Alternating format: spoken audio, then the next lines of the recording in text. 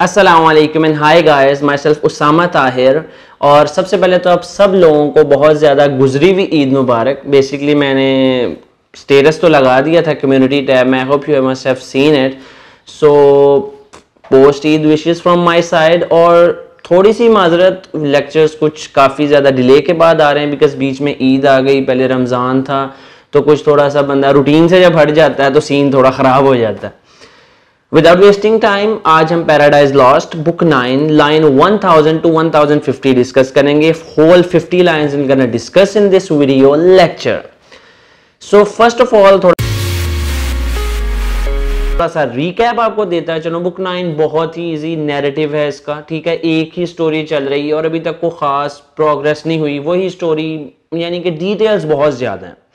इतनी ज़्यादा डिटेल्स हैं कि स्टोरी दो तीन लाइंस में मैं आपको एक्सप्लेन कर सकता हूँ रिकैप दे सकता हूँ। हालाँकि बुक वन में काफ़ी सारी चीज़ें होती थी, जो रिकैप में आ जाती थी। अब है क्या?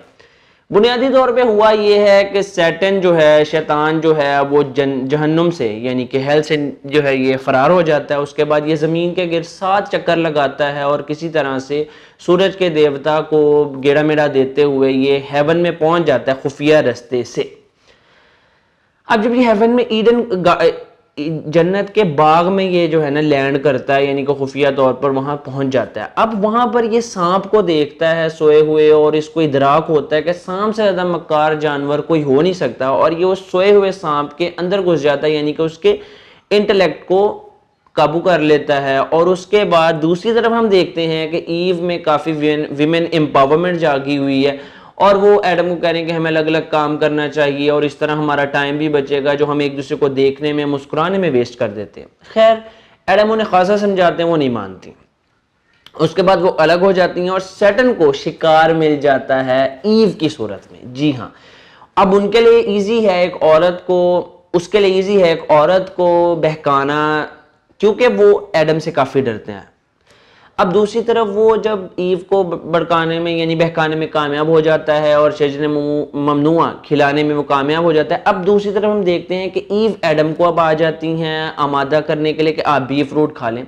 और यहाँ से फिर नेक्स्ट स्टोरी आगे चलती है कि वो वो फ्रूट खा लेते हैं not being tempted by Eve but in the love of Eve. वो जानते हैं इसका जब भी नतीजा निकलने वाला है, उन्हें पता है। ऐसी बात नहीं है कि वो ईव की तरह धोखे में आ गए हैं, लेकिन मोहब्बत बहुत कुछ करवाती है दोस्तों। अब नेक्स्ट लाइंस में हम देखते हैं क्या हो रहा है। अब वो खा चुके हैं। इस टाइम यहाँ पे लाइंस हमने एंड की थी, जहाँ पे उन्होंने अभी फ्रूट खाया ही है और अर्थ जो है वो लर्ज रहा है, यानी कि रिस्पॉन्स दे रहा है एक गुनाह में, यानी कि गलती हो गई है इंसानियत की, पहली गलती है और उसके जवाब में जो है पूरी कुदरत, यानी कि रिस्पॉन्ड कर रही है, जवाब दे रही है।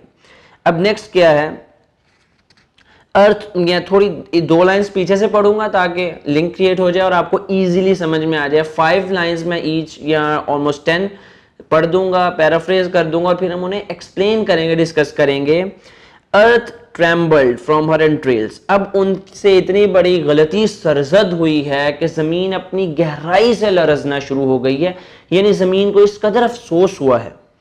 As again in and nature gave a groan और उसमें कराहत महसूस हो रही है। And nature gave a second groan और नेचर जो है, वो दोबारा से जो है कराहत का इजहार करती है। स्काई लोर्ड अब क्या है? आसमान तारीख हो चुका है। आसमान पर तारीकी छा चुकी है। एंड मटरिंग थंडर और बादलों के गरजने की आवाज़ आ रही है। Some sad drops wept at completing of mortal sin अब आसमान से बारिश होना शुरू हो गई है। ऐसे लग रहा है जैसे आसमान रो रहा हो। इंसानियत की इतनी बड़ी गलती पर जिसने ज, मौत को जन्म दिया। मोर्टल सिन ऐसा गुना जिसके बाद मौत को पैदा किया गया। इससे पहले एडम और Eve according to this book according to Bible immortal थे। लेकिन उन्होंने जब ये फ्रूट खा लिया तो वो मोर्टल हो गए हैं। यानी कि उन्होंने एक मोर्टल सिन किया है। ऐसा गुना ऐसी गलती उनसे सरजद हुई है जिसके बाद तमाम तर मुश्किल और मौत का वजूद जो है, वो जो है वजूद में आया है, मौत वजूद में आई है। मोर्टन सिल ओरिजिनल, उन्होंने बहुत बड़ा ओरिजिनल सिन कर दिया है while Adam took no thought लेकिन एडम को किसी बात की परवाह नहीं है ईटिंग हिज विल वो फल खाते चले जा रहे हैं। Nor Eve to iterate her former trespass और ना ही ईव को अपनी गलती दोहराते हुए किसी चीज़ का अफसोस या डर है। इटरीट का माना यहाँ पर है रिपीट करना। फॉर्मर का माना है साबिका ट्रेसपास यानी गलती फियर्ड यानी कि डर।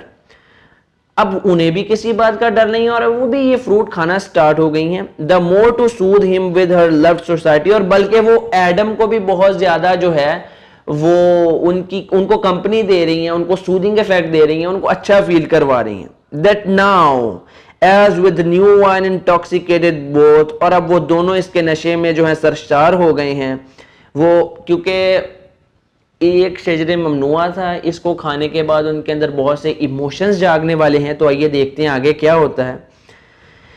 दे स्विम इन मर्थ वो बहुत ज़्यादा एक्साइटमेंट में जूमना शुरू हो गए हैं and fancy that they feel divinity और वो बहुत ज़्यादा एक्सपेक्ट कर रहे हैं कि अब वो खुदाई सलाहियत खुद में महसूस करेंगे with in them breeding wings और उनके को पर निकल आएँगे wherewith to scorn the earth और वो ज़मीन को बहुत हकीराना नज़रों से देख रहे हैं। अब हुआ क्या है? बुनियादी तौर पर इन लाइंस में उस फल को खा लिया गया है और अब उस फल को खाने के बाद एक जो पोइट होता है ना, वो सराउंडिंग आपको बता रहा है। यानी कि जिस तरह से वो इमेजरीज यूज़ कर रहे हैं, आपकी सेंसेशंस को अराउज कर रहे हैं कि आसमान तारीख हो गया है, ज़मीन लर्जना शुरू हो गई है, उनके अंदर जो है डिफरेंट चेंजेस आना शुरू हो गए हैं और इन दोनों को किसी किस्म का कोई गिल्ट नहीं है, ये एक्सप्लेन कर दिया गया है। और वो ये एक्सपेक्ट किए बैठे हैं कि अब उनमें कोई देवताई कुतें आ जाएँगी, ताकत आ जाएगी और वो पता नहीं क्या करने लगेंगे, उनके को विंग्स निकल आएँगे वो। तैरना शुरू हो गई, यानी वो एक्साइटेड हो गए हैं बहुत ज़्यादा।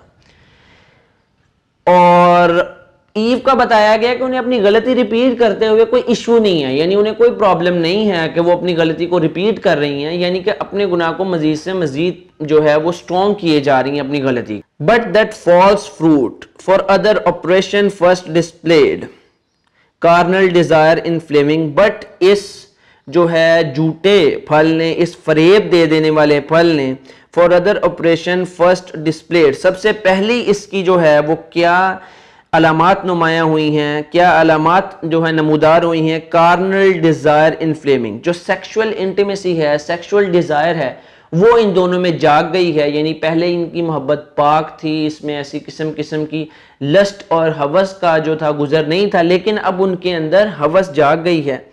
जिसमानी हवस जाग गई है he on Eve began to cast lascivious eyes अब एडम जो है ईव के ऊपर जो है लस्टफुल यानी कि हवस ज़्यादा आँखों से देख रहे हैं, नज़रों से देख रहे हैं। She him as wantonly replied और वो भी उसी शिद्दत से जवाब दे रही हैं। ठीक है?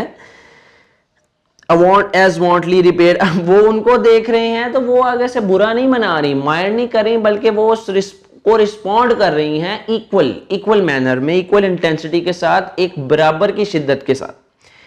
In lust they burn till Adam thus again Eve to dalliance move और वो एक दूसरे को जो है इस लस्ट में देखते चले जा रहे हैं thus again Eve to dalliance move और उनकी जो है मूवमेंट काफ़ी ज़्यादा बदल चुकी है। ईव नाउ आई सी दम आर्ट अब जो है वो ईव से मुखातिब होते हैं, और क्या बात कहते हैं? Ewe now I see thou art exact of nature and elegant यार, तुम तो बड़ी परफेक्ट हो टेस्ट साहिब ज़ौक हो, तुम तो जायकों की बड़ी पहचान रखती हो, तुम तो बहुत ज़्यादा शौकीन मिजाज हो of sapience no small part और ये अक्लमंदी की कोई छोटी सी मिसाल नहीं है, बहुत बड़ी मिसाल है। सेपियंस से मुराद दानिशमंदी नो स्मॉल पार्ट यानी एक छोटी बात नहीं है। मैं दोबारा से एक्सप्लेन कर देता हूँ, थोड़ा सा डिफ़िकल्ट है। इव now I see thou art exact of the test मैं तुम्हें ये देख रहा हूँ कि तुम्हारा टेस्ट परफेक्ट है और टेस्ट में तुम बहुत जौक रखती हो। और ये कोई मामूली बात नहीं है। Since to each meaning savour we apply and palate call judicious इंसानी सेंसेस में सबसे बड़ी सेंस उसकी टेस्ट की सलाहियत है, जो कि असल जस्टिस करती है। I the praise yield you मैं तुम्हारी तारीफ़ करता हूँ। भाई, मैं तुम्हारी तारीफ़ करता हूँ। So well this day thou has provide much pleasure we have lost while we abstain आज मुझे जितना मज़ा आया है, इससे पहले मुझे कभी इतना लुत्फानंदोज नहीं मैं हुआ और इस चीज़ से बाज रहने की वजह से मैंने बहुत से मज़े को मिस किया है। यानी अब उन्हें जो है मस्ती महसूस हो रही है। फ्रॉम दिस डिलइटफुल फ्रूट इस बहुत ही खूबसूरत फल से नॉर नॉन टिल नाउ जिसका अभी तक हमें नहीं पता था ट्रू रेलिश बहुत ही मज़े का टेस्टिंग बहुत ही जायकेदार।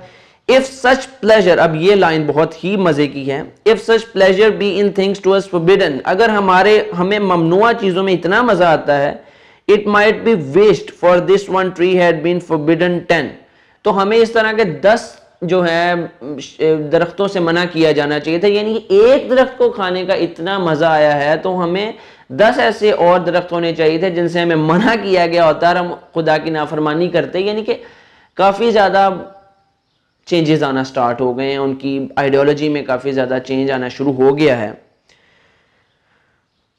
But come so well reply so well refresh now let us play as meet is आओ अब हम खेलते हैं आफ्टर खेलने से आप समझ रहे हैं। सो वेल रिफ्रेश now लेट us play as meat is after such delicious fare, for never did your beauty since the day I saw you first and wedded you adorned with all perfection so inflame my senses. यानी इससे पहले मैंने तुम